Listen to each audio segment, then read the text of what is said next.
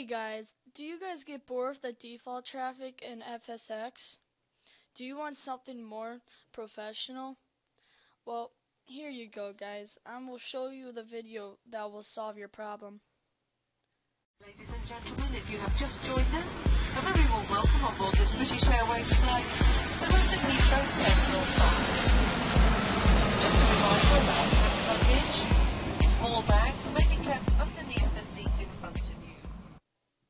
Hey guys, FX Joe Protections here, bringing you out a video on how to get AI traffic on FSX to make your experience on FSX more realistic and more detailed.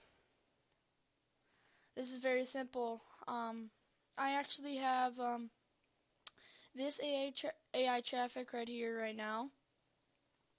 Um, I can't really show you this one right now because um, they are um, fixing their website, I think, and it won't like load. Their website won't load for the download.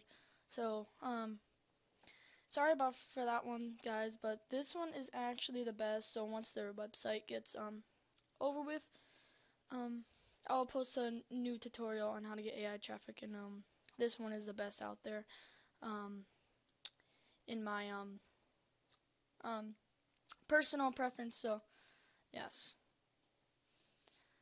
So what you're gonna want to do, um, this is a different one. So what you're gonna have to do is go to your internet browser, of course.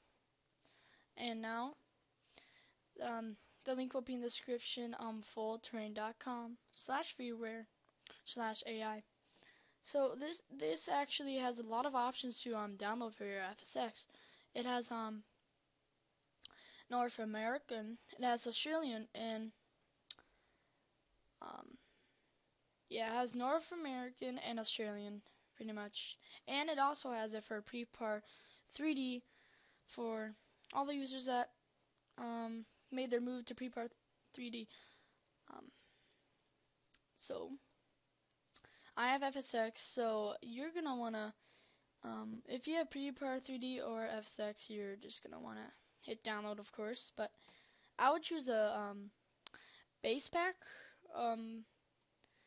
For every Australian and North American, I would choose base pack because, you know, why would you pick incremental patch? I don't get it. So, yes, pick base pack and hit download. Once you do that, you're going to want to hit save file or if you're on Google Chrome, you're going to yep, do the same with your installer thing. So, uh, it doesn't take that long to download.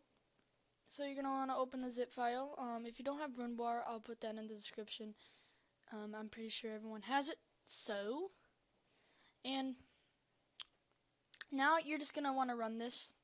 Um, I already have traffic, so I'm not sure if it would, um, I'm pretty sure it would, like, delete this traffic, so I'm not going to actually hit the um, application. So what you guys are going to do is hit the application and run through the installer or setup it might have. Maybe both. Who knows? So, yep, that would basically, um, once you got done with the setup, so, yep, it would, um, have, um, it would just install through your program files as shown here.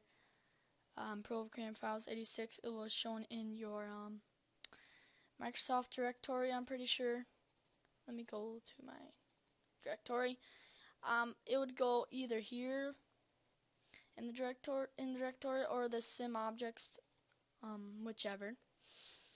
Um, so yeah or it would go in the airplanes sorry but it would um, sometimes go in the airplanes like um, this traffic did right here like this one.